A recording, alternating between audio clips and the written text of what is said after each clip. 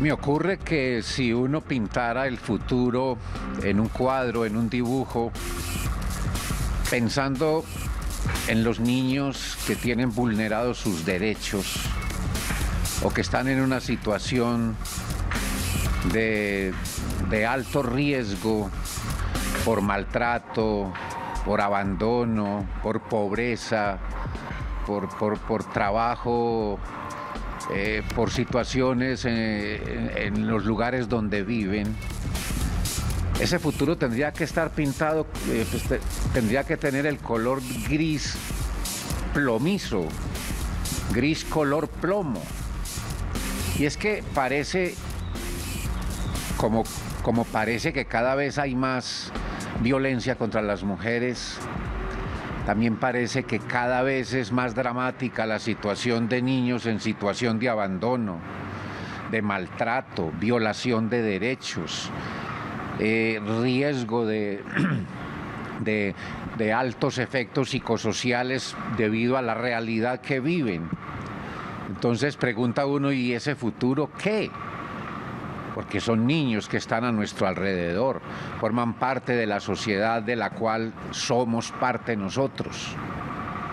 Bien, el comentario es porque esta tarde aquí en Parihueliando con vos conversaremos sobre la, la corporación Superarse, una entidad privada sin ánimo de lucro que existe en Medellín hace 48 años y que se encarga precisamente de, niños que están en esa situación. Imagínense, hace 48 años. Y hoy puede ser peor la, la, realidad comparada con hace 48 años, en 1970, cuando nació esta corporación. Bien, ese es el tema hoy eh, aquí en Parihueliando con vos. Bienvenidos sean todos ustedes nuevamente. Y yo saludo a Melissa Nao, que hoy ella amablemente ha querido venir a ayudarme aquí mientras Natalia, mientras Natalia hace unas vueltas personales. Melisa, gracias, buenas tardes, bienvenida. Luis Alirio, como en los viejos tiempos, qué bueno estar acompañándote, qué bueno estar en el set de Parihueleando, qué bueno pasar una tarde con ustedes, tocar temas de alta importancia, como Luis ya lo había contado. Pero antes de eso, yo quiero recordarles que estamos en el canal Parque de Telemedellín, donde antes quedaba el vivero municipal, ahí cerquita al Centro Comercial Automotriz. Es un parque abierto al público, usted puede venir, disfrutar una tarde soleada, hay zona para picnic, hay comida, hay parque y juegos infantiles, pueden ir con la mascota somos pet friendly, entonces, y además hay otras actividades que usted puede realizar en el canal Parque, como el Tour Telemedellín. Es un lugar donde usted puede descubrir toda la magia de la televisión y seguro le va a encantar. Así que todos ustedes bienvenidos, no solamente a Parihueliando, sino también a Telemedellín. Y bueno, Luis, no podemos empezar esto sin sus efemérides. sus Luis efemérides, como dice. Luis efemérides, citando a Natalia, que Tatico nos tiene para hoy 4 de mayo. hoy es 4 de mayo de 2018. Es el Día Internacional del Bombero Forestal. Últimamente hemos sufrido muchos, muchos problemas de quemas forestales, incendios, por muchas razones. Pues Naciones Unidas ha determinado o ha establecido este día 4 de mayo como Día Internacional del Bombero Forestal, como reconocimiento al trabajo que hacen estos hombres. Bien, el, el 4 de mayo de 1515, el Papa León X prohíbe la impresión de libros no aprobados por la Santa Inquisición. Recuerde que hubo un libro, o ha existido un libro en la iglesia donde se apuntan los títulos de libros prohibidos que se llama El Índice. En 1954, el 4 de mayo, en Paraguay, el general Alfredo Stroessner dio un golpe de Estado y se nombró presidente de la República. Bastante recordado en la historia este general. En 1976, el 4 de mayo, en Madrid, España, se funda el diario El País. En muy poco tiempo se ha convertido en casi el diario más influyente de la península ibérica, España. En 1979, en el Reino Unido, Margaret Thatcher es elegida jefe del gobierno por primera vez, pues primera ministra. Siempre ha habido reina, ¿no? Es la primera mujer que desempeña este cargo en Inglaterra. En el año 2000, un virus informático que se llamó I Love You Qué bonito. Paralizó a millones de computadores en todo el mundo. ¡Qué maravilla! ¿ah? Eso es el amor, Luis Alirio. Paraliza a todo el mundo. ¿Se da cuenta? El amor paraliza, sí, claro. sigue en, 2000, en 2000, el 2001, el 4 de mayo, el Papa Juan Pablo II visitó Grecia, donde pidió perdón por los abusos cometidos por la Iglesia Católica a lo largo de la historia. El 4 de mayo de 1961 nació Lucho Herrera, ciclista colombiano de grata recordación en, en competencias ciclísticas de gran importancia internacional y que ha dejado el nombre de Colombia bastante alto. Melissa. Y el 4 de mayo de 2018 estamos parihueleando con vos. Lo puede hacer también a través de nuestras redes o en www.telemedellín.tv. Ahí puede seguir nuestra transmisión en vivo o puede repetir los capítulos que sean de su interés. Y hoy, 4 de mayo, estamos parihueleando, como usted ya lo decía, con dos mujeres que han sido eh, ejemplo, digamos, en una misión para rescatar a esos niños que tienen sus derechos vulnerados y que desde la historia pues han hecho un trabajo bien importante. Ellas son Ana Lucía Palacio, la directora ejecutiva, que está a su lado. Ana Lucía, bienvenida a Parihueliendo con vos. Muchas gracias. Y la acompaña la señora Melba Restrepo, que es una de las voluntarias de esta corporación. Bienvenida, doña Melba. Mil gracias. Luis Alirio hacía un apunte ahorita y es que hace 48 años ustedes están funcionando como corporación, pero mi inquietud es cómo ha evolucionado la situación de, de la niñez, teniendo en cuenta que se trabaja con niños vulnerables en esa época y ahora. ¿En qué punto estábamos en ese momento y en qué punto estamos ahora ¿Cómo es el panorama? Bueno, cuando se creó la corporación Superarse, se llamaba Progamin, no se llamaba como se llama ahora.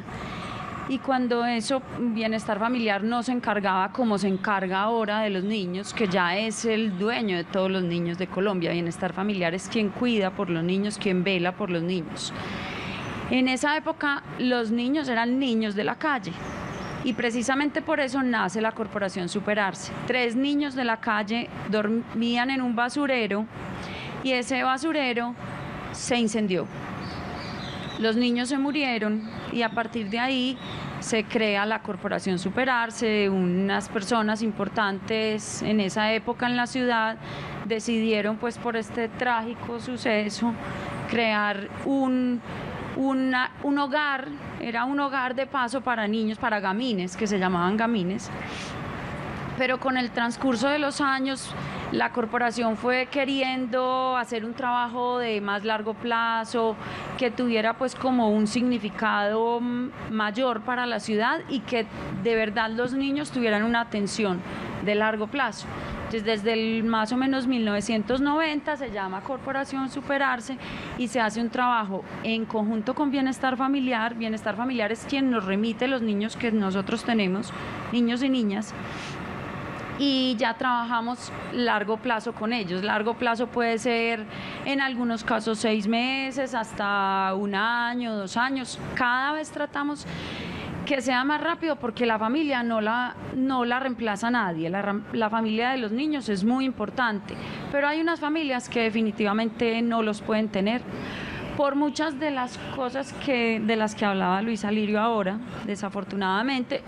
Hay otros que no tienen familia, son abandonados, esos pasan a un sistema de adoptabilidad digamos que permanecen un poquito más tiempo porque son niños ya grandes. Nuestra atención es a niños de segunda infancia, o sea, desde los 7 años en adelante. Eh, algunos están hasta los 12, 13, 14, entran en diferentes edades. Y dependiendo como de la vulneración de derechos que hayan sufrido, es el tiempo que se quedan y del trabajo que se hace con la familia, porque trabajamos con los niños y con la familia. Se hace fortalecimiento familiar para que estas familias recuperen sus niños y puedan eh, continuar pues ya con una vida un poquito menos, porque solo es un poquito, un poquito menos vulnerados los derechos. Son familias que viven en situaciones económicas muy difíciles. Mire, a propósito de la palabra gamín, hay como dos situaciones. Suena como fuerte, ¿cierto? En este sí, no, yo recuerdo que la palabra era altamente peyorativa, denigrante Incluso a uno las mamás le decían, no se vaya a juntar con gamines.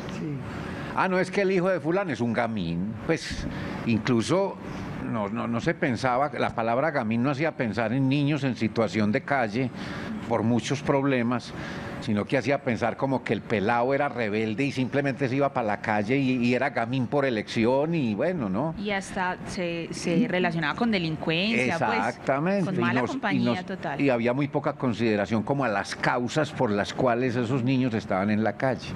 Y lo otro es que la palabra desapareció del léxico de los colombianos y se ha cambiado por otros, toda vez que aún y vemos muchos hay muchos niños todavía en situación de calle, hay mucho maltrato y abandono, pese a que hay muchas más instituciones. Está bienestar familiar que en ese tiempo no. La alcaldía de Medellín, mediante diversos programas y en particular en los de una secretaría que se llama Secretaría de Inclusión Social, Familia y Derechos Humanos, hay muchas, hay muchas alternativas, sin embargo, el maltrato, el abandono aumentan.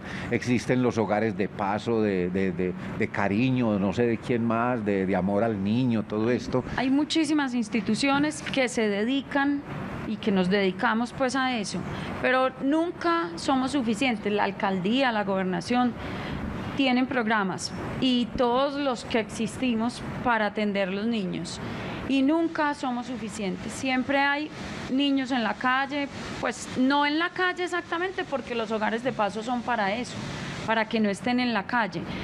Eh, los que vemos en la calle es porque todavía viven con sus familias y esa es otra problemática grande. Los sacan a trabajar a la calle porque la, la mamá o el papá por necesidad pues tienen que llevar el niño a la calle a que les ayude a trabajar, pero eso es denunciable. Los ciudadanos no no lo saben mucho, pero eso lo deberíamos denunciar porque es salvar a los niños de la calle. Doña Melba iba a, decir. Sí, cuando estabas comentando de lo que significa realmente la palabra Gabín, que siquiera ya está en desuso, eh, te comento que fueron los mismos niños los que realmente casi que nos forzaron a cambiar el nombre de la institución, porque ellos dicen que se sentían realmente pues mal, sí. que por ejemplo en los colegios, en las escuelas donde iban, los niños les decían ahí vienen los gamines, ahí van los gamines, y ellos fueron realmente casi que fue la primera queja del nombre, ahí ya pues la junta y todos caímos en cuenta que realmente había que cambiarlo, lo que significó traumatismo, porque cambiar el nombre de la institución que lleva muchos años, es más, hasta hace muy poquito nos aporreaba ese cambio, salíamos porque nosotros tenemos derecho que la alcaldía nos ayuda con la colecta que vemos siempre en los almacenes de cadena que nos permiten salir con las alcancías a recoger. Hasta hace muy poquito, pues hasta hace dos años todavía, que es superarse, de dónde salió, teníamos que explicar, sobre todo a las personas de más edad, era progamí, nos tocó cambiarlo, pero tuvimos realmente... Y aún hoy es peyorativa pues cuando por ahí se usa, pero se usa en otros contextos, por ejemplo como decir, no, ese como vino de gamino y vea usted tan elegante y yo como un gamín, ¿cierto? Sí, sí. Pues ya no tiene esa carga, esa, denotación como tan pues de señalamiento, eso es que de verdad yo creo que se generaba un trauma también para los niños, tenía un peso en la espalda, pues sí. siquiera lo cambiaron. Doña Melba, ¿usted cómo llegó a ser voluntario? O sea, ¿cómo se une uno a, esa, a este tipo de causas? Bueno, te cuento, eh, una vecina mía ya trabajaba en la institución eh, yo siempre tuve almacenes, yo tuve, me encantan las ventas y ella me coqueteaba todo el día, Melba, yo quiero montar un almacén porque realmente bienestar nos da un porcentaje de la ayuda. Anita sabe más, ahora les contará, pero realmente nosotros tenemos que salir a buscar la, la ayuda en grande. Y entonces, ¿qué se tiene como en los planes? Un almacén era como lo que encontrábamos más rápido para poder tener realmente más sustento para estos muchachos. Y ella me rogaba, Melba, yo nunca manejaba un almacén, usted siempre ha tenido, pues yo tenía mi almacén muy formadito, muy bueno. Ay, entonces siempre me rogó, como un año o dos, hasta que un día cualquiera me resultó un viaje que iba a ser largo y esta es la, ya, me despido del almacén, la llamé y le dije, Gloria, vamos a empezar con el almacén.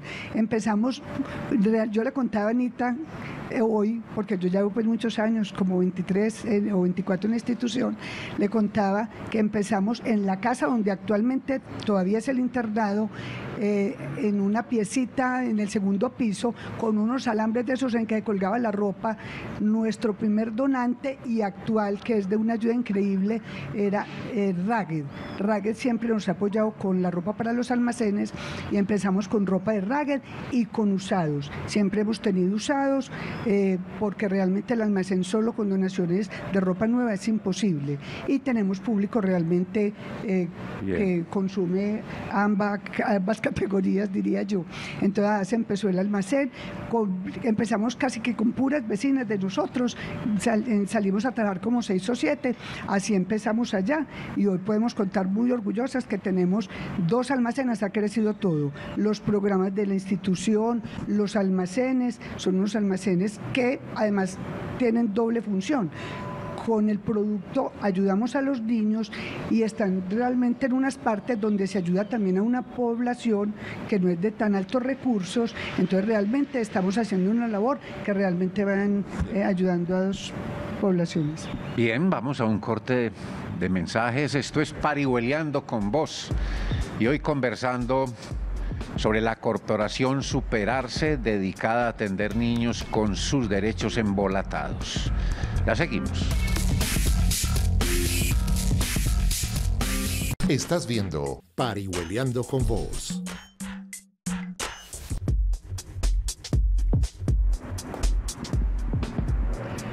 Estamos en Parihueleando con vos. Esta tarde conversando sobre la eh, Corporación Superarse, fundada en 1970, hace 48 años en Medellín,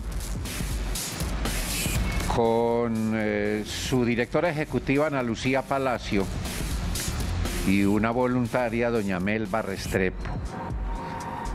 A ver, ahora mencionaba yo todas las instituciones que hoy hay que se encargan de velar por los derechos de los niños el trabajo de ustedes sigue siendo significativo. Es decir, eh, no supongo yo, puesto que ahí están, de que se quedaron sin qué hacer. Cada vez hay más niños que atender, ¿no es cierto? Cada vez hay más niños que atender y más necesidades, porque hay más formas de vulnerar los derechos. Antes, eh, digamos, había muchas cosas que no se veían como que fuera vulneración de derechos. Ahora cada vez hay más formas de vulnerar los derechos.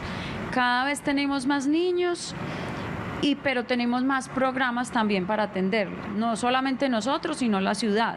Entonces, eh, digamos que nosotros atendemos directamente 95 niños que están con presupuesto de bienestar familiar, que bienestar familiar nos aporta pues para, para atenderlos, pero atendemos más o menos 700 más que son inclusive de otras instituciones que no tienen suficiente capacidad o que nosotros les podemos prestar alguna ayuda donde ellos también van donde nosotros a, seguir, digamos, eh, tratando de, de, equiparar un poquito ese trabajo. Doña eh, Ana, si han salido más instituciones, más ayudas, más gente que se preocupa por los niños, se supone que eso debería como calmar un poquito la situación, pues debería cambiar el panorama, los niños deberían estar en mejores condiciones, en mejor situación. ¿Por qué no cambia? O sea, ¿qué ha hecho que por el contrario más niños sean vulnerados, más niños estén en situación de calle? cuando debería ser todo lo contrario, pues, o creería uno que el fenómeno debería ser al contrario. Eh, yo no sé qué es lo que pasa, desafortunadamente, y como lo vemos en muchos sectores, la sociedad cada vez eh, se preocupa menos por el prójimo y desafortunadamente los niños son una de las principales víctimas. Sí hay cada vez más organizaciones, cada vez más preocupación, pero también creo que hay mucho desconocimiento del público en general. Eh, yo llevo relativamente poco en este trabajo, en, este sector social lleva relativamente poco y tengo que confesar con el dolor en el alma que conocía muy poquito y como yo, mucha gente igual.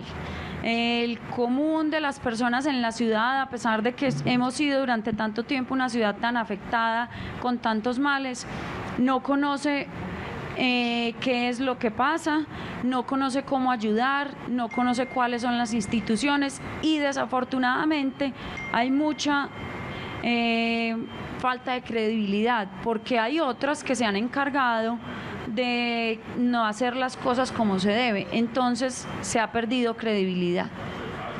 Uno ve en la información que hay de la corporación y encuentra que actualmente atienden a 140 niños niñas, jóvenes, pues jóvenes es que adolescentes. Hay jóvenes, adolescentes y un poquito mayores. Enseguida les cuento están cómo en, es. en situaciones difíciles, por ejemplo, abandono físico, emocional, abuso sexual, trabajo infantil, explotación laboral, negligencia en el cuidado, desescolarización, violencia intrafamiliar conflict- y conflictiva social en- en- en los sectores donde viven. A ver, esos 140 niños, ¿de dónde son? ¿Cómo los escogen? ¿Por qué esos 140 y no otros de otra parte? Bueno, en, digamos que niños, los más pequeñitos, de esos tenemos 95. ¿Cómo los escogemos? Los que están en el internado, bienestar familiar es quien nos, nos remite los niños, o sea, bienestar, eh, la policía de infancia y adolescencia se encarga, y con bienestar familiar se encarga, digamos, de rescatar los niños que están en algún tipo de problema de este.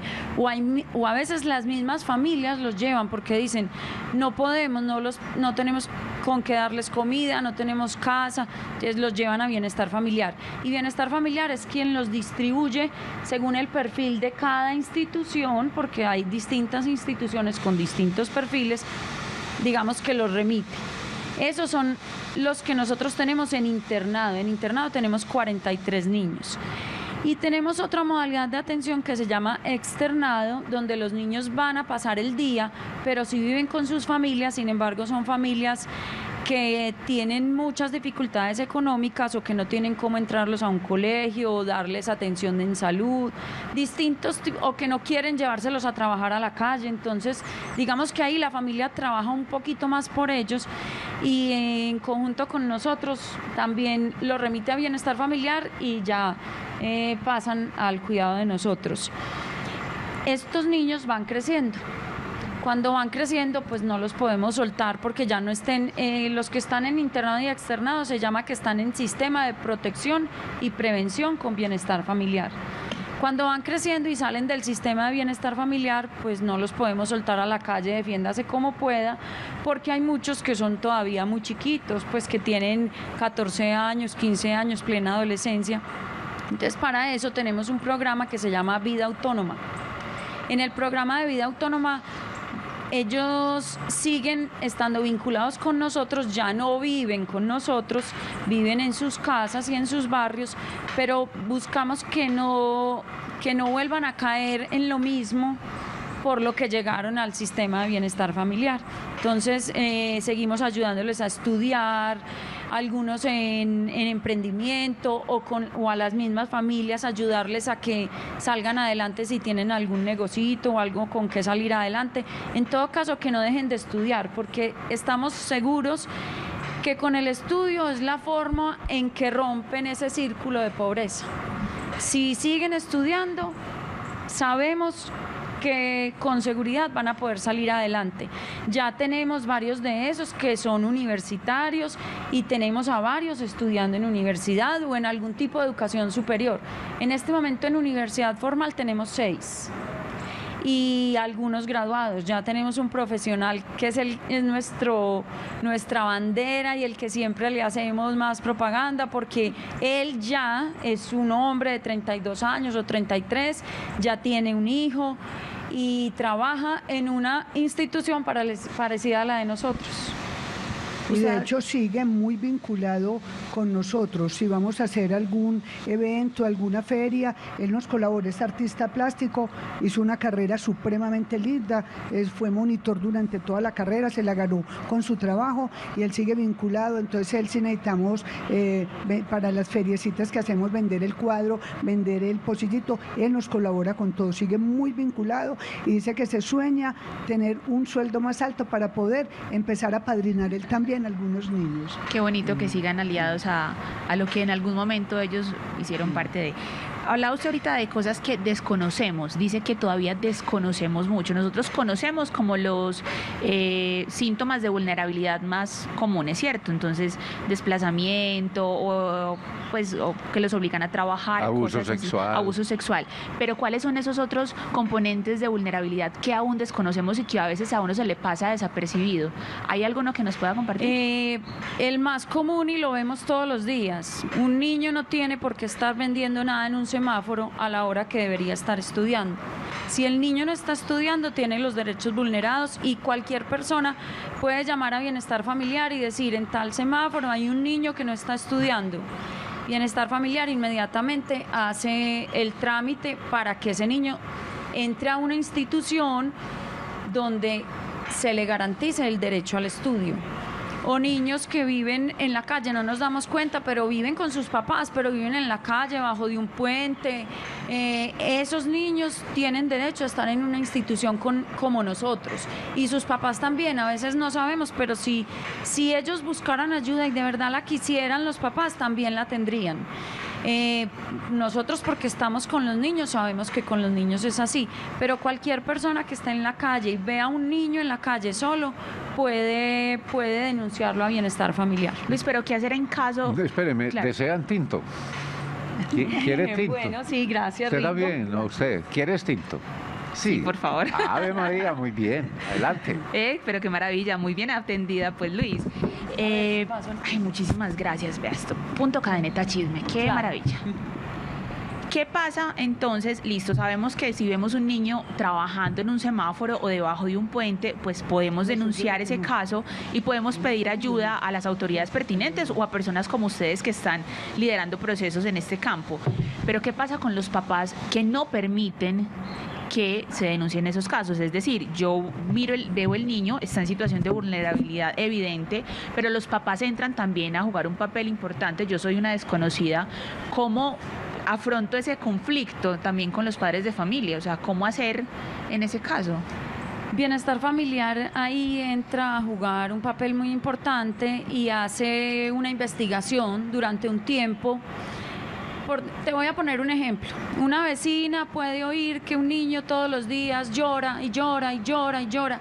La vecina puede llamar a bienestar familiar y decir, yo todos los días oigo a este niño llorar ya Bienestar Familiar viene y hace una investigación, habla con los papás y determina si definitivamente el niño puede seguir en su casa, si no, o qué es lo que está pasando, y entonces ya interviene. No importa si, por ejemplo, eso es un caso de maltrato, muy evidente. La mamá se puede parar en el pelo y se lo quitan. Entonces lo importante es saber que hasta que ella trabaje por recuperarlo. Lo importante es saber que uno no tiene que entrar en conflicto con los papás de los niños en los que encuentra en situación de vulnerabilidad, sino que ese trabajo lo hace directamente el ICBF, quien determina si o no hay esa violación de derechos. así es. La denuncia es anónima generalmente, la denuncia es anónima. En algunos casos es de la misma familia, la abuelita o la tía se da cuenta que la mamá tiene un novio nuevo y y el niño está en algún tipo de riesgo y denuncian. Los mismos familiares denuncian. porque igual a los niños, los niños pasan a mejor vida.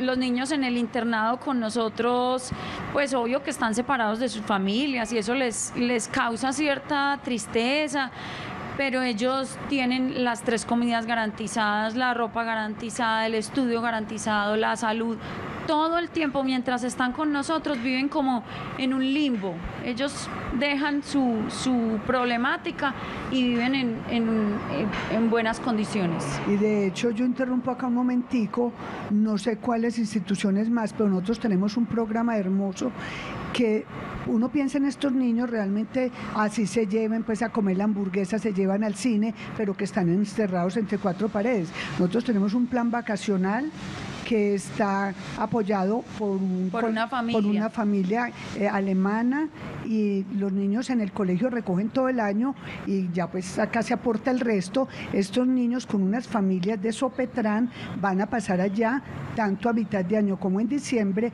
sus vacaciones. Son unas familias previamente estudiadas, o sea, van con todas las de la ley. Entonces los niños tienen también pues esas vacaciones como cualquier niño. Uno puede poner una denuncia, pues se se, da cuenta de que un niño tiene sus derechos enterrados, que hay maltrato, qué sé yo, pero la denuncia es ante bienestar familiar. Uno no puede ir de la corporación a decir nada. También. ¿Ah, sí? Sí, porque también eh, tenemos una relación cercana con bienestar familiar, entonces si nosotros sabemos que hay un niño que está en riesgo o en peligro o que ya sufrió algún tipo de abuso, nosotros hacemos como la triangulación, la pasamos a bienestar familiar y ya llega a donde nosotros. En, al externado, eh, llegan muchos casos de niños así, viven con sus familias y las mismas familias de pronto ni siquiera ellos hacen nada malo, pero viven en un inquilinato con tres familias más que no pueden garantizar dejarlos solos ahí, entonces prefieren llevárnoslos a nosotros. Permítame, Luis, estamos hablando de una corporación que se llama Superarse, donde atienden a 140 niños en situación de vulnerabilidad. Los derechos de estos niños han sido violentados, atropellados y ellos pues hacen la bonita labor de ayudarlos, acogerlos para que tengan un mejor futuro. Vamos a hacer una pausita y ya regresamos en más en Parihueleando con vos.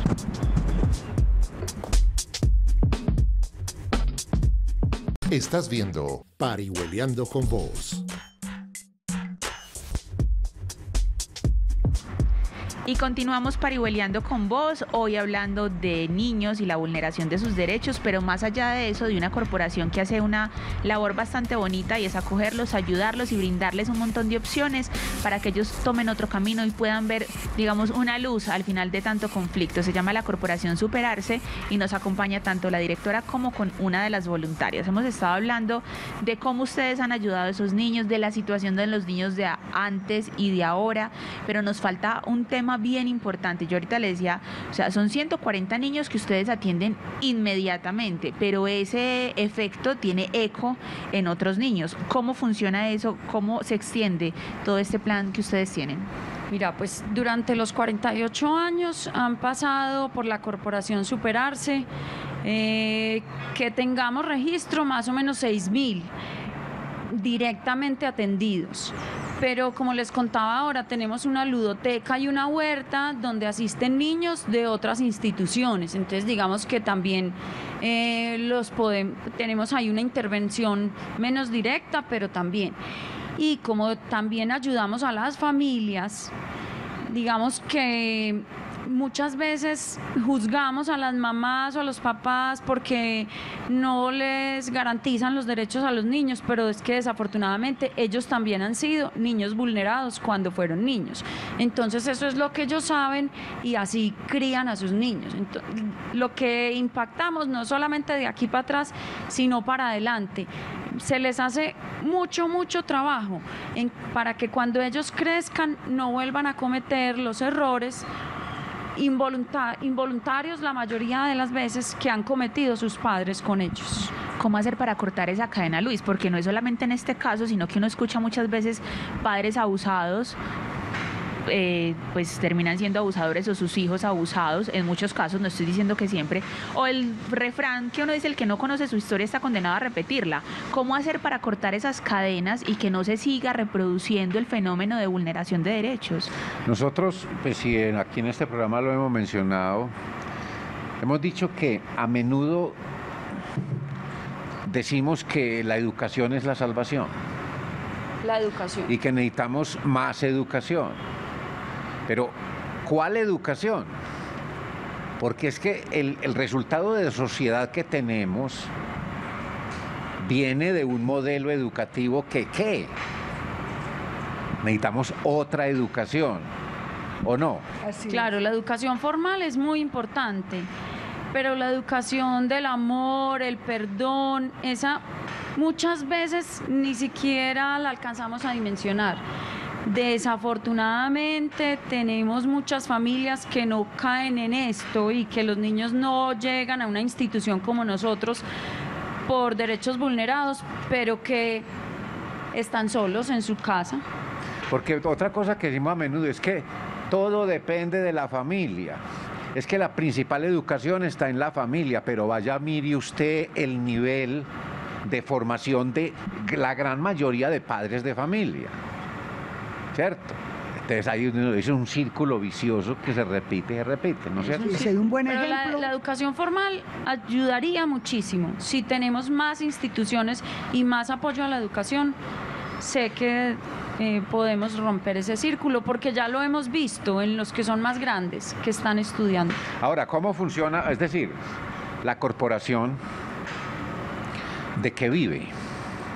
¿De los contratos con, con- con bienestar familiar o hay aportes de la gente? ¿Usted es voluntaria, por ejemplo? ¿Cuántos voluntarios hay? ¿A cuántos les pagan? ¿Cómo funciona? No, realmente contamos con un grupo muy bueno de voluntarias, gente muy comprometida. Nosotros nos repartimos los turnos del almacén. Tiene que haber un compromiso muy serio porque el turno que cogiste tenés que estar asistiéndolo para atender en el almacén. Pero hay muchas clases de voluntarios, voluntarios que van a reforzar a los niños en matemáticas, si necesitan algo de inglés. De verdad hay gente, pero nunca, nunca lo mismo que los hogares, nunca son suficientes. Mantenemos déficit de voluntarios. Yo muchas veces con todo el que puedo hablar le digo cuánta gente jubilada, cuánta gente en la casa realmente con tiempo disponible, no saben lo que se puede ayudar en una obra de estas. Todo voluntario que nos salga para el almacén, para reforzar con los niños, para todo, bienvenido y que sirva aquí la cuñita, que qué dicha que nos llamen y consigamos voluntarios. Pero Luis Alirio, nosotros tenemos, como le contamos, tenemos dos almacencitos eh, donde te digo pues que se hace doble labor, labor en, en- en dos sedes de las nuestras. Eh, y realmente lo principal que yo quiero que Ana Lucía les hable, nosotros tenemos el plan padrino. Es un plan muy fácil, de muy fácil manejo. Ana Lucía les va a contar que esperamos que de verdad mucha gente apoye esta campaña porque se sabe que es para una obra donde está el futuro de este país, que son nuestros niños. Tenemos un contrato con bienestar familiar muy importante y que nos hace unos aportes muy importantes. Pero eso nunca es suficiente. Con bienestar familiar no llegamos ni al 60% de los ingresos que necesitamos. El voluntariado nos ayuda con los dos roperos o almacenes, que digamos ese es nuestro principal ingreso propio y tenemos muchos padrinos, como 140 padrinos, eh, algunos muy comprometidos durante muchos años, otros no tienen la posibilidad de hacerlo durante mucho tiempo, pero el tiempo que colaboran es importante. Tenemos otros, otros donantes que son empresas de Antioquia y de Colombia. eh, algunos son personas que hacen una donación una sola vez, pero también es importante. Tenemos una familia que no es una familia alemana que decías ahora, sino una, una familia antioqueña que a través de un programa con Alemania nos ha ayudado y nos sigue ayudando durante mucho tiempo para el plan de am, familias amigas de Sopetrán, que es un proyecto importantísimo para las vacaciones de los niños y donantes así como ellos que toda la vida han estado comprometidos. Melba, ella es muy linda, es voluntaria y mucho tiempo ha ayudado, pero ella es madrina, donante, voluntaria, to- todos los anteriores, si la ponemos a barrer también barre. Bueno, eh, estuvimos eh, participando en marzo en la feria que hubo en Plaza Mayor que se llamaba Expo Voluntariado. Un- fue una feria donde participamos 88 organizaciones, tuvimos mucha inscripción de voluntarios y estábamos felices o estamos felices, pero desafortunadamente la convocatoria de voluntarios no es fácil. Sabemos que todos tienen muy buenas intenciones, pero no se puede quedar solo en intenciones.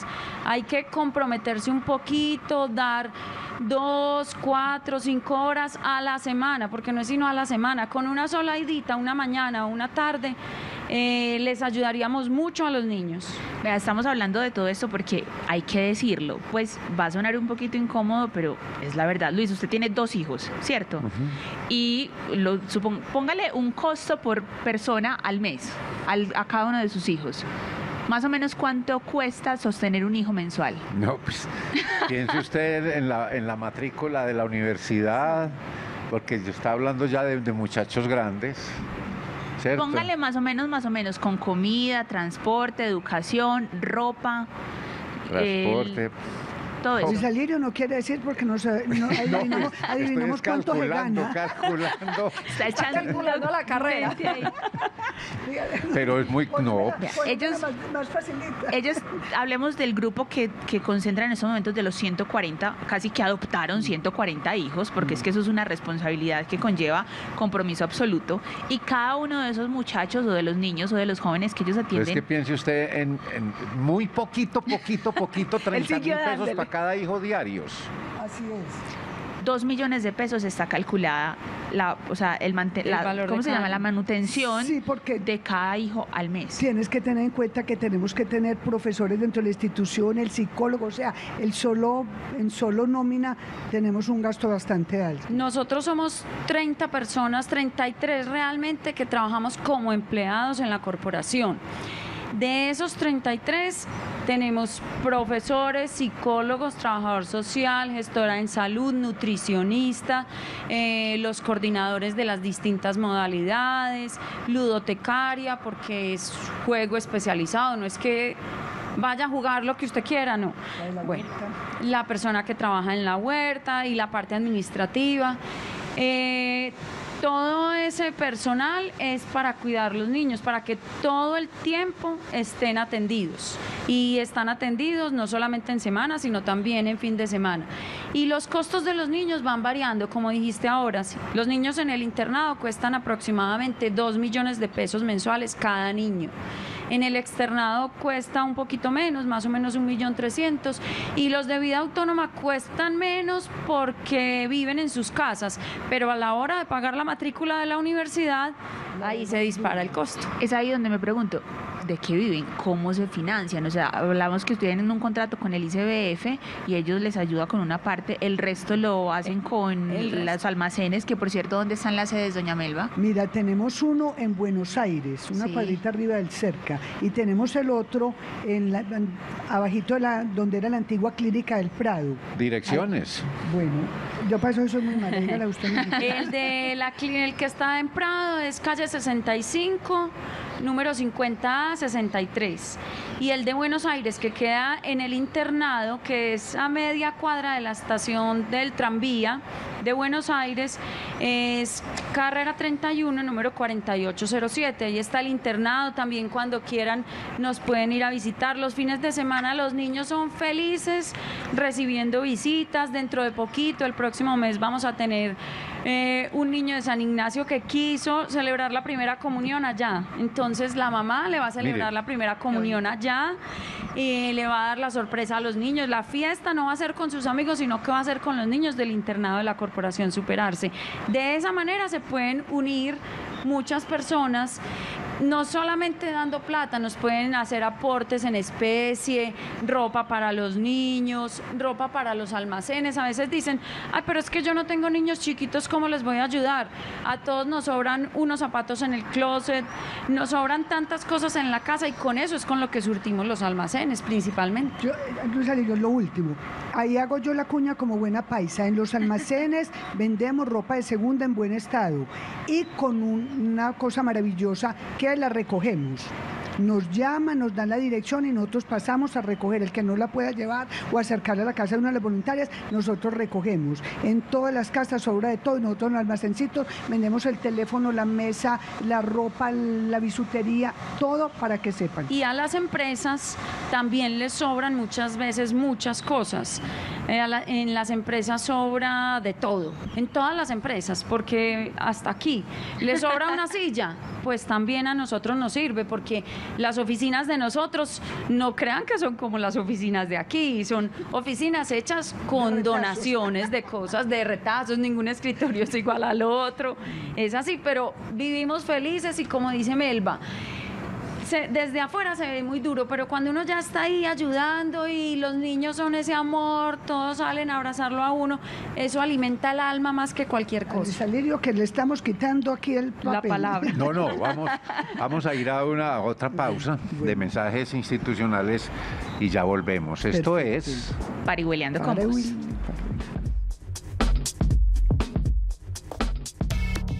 Estás viendo Parihueliando con Vos.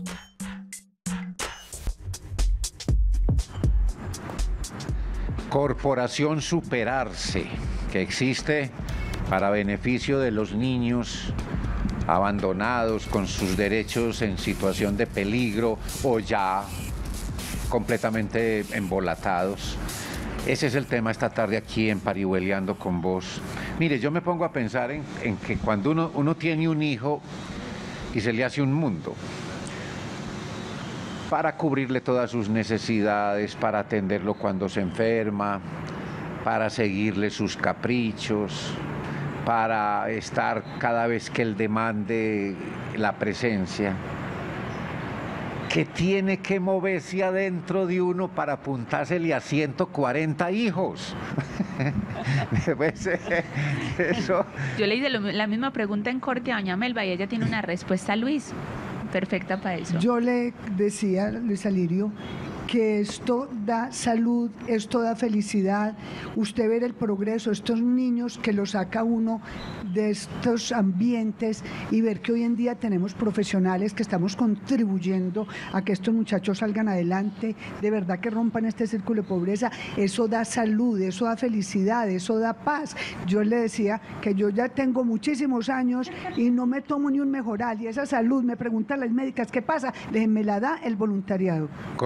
Contribuyendo a que el dibujo del futuro no sea pintado con gris plomo. Ay, No sí, estamos gris. de acuerdo, de acuerdo completamente. Pero todos se pueden vincular, de verdad que los invito a que nos conozcan y si no pueden ir, también nosotros vamos donde ustedes. Estamos haciendo mucha campaña de plan padrino institucional, o sea, vamos a las empresas y la empresa hace débito automático para que cada persona con el aporte que quiera tenga una, un débito mensual.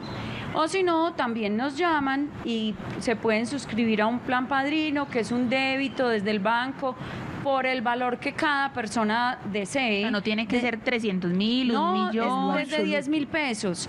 Muchas personas se vinculan últimamente eh, apadrinando a uno de los jóvenes que quiere entrar a la universidad y pagan directamente la universidad. La plata no nos la tienen que dar a nosotros.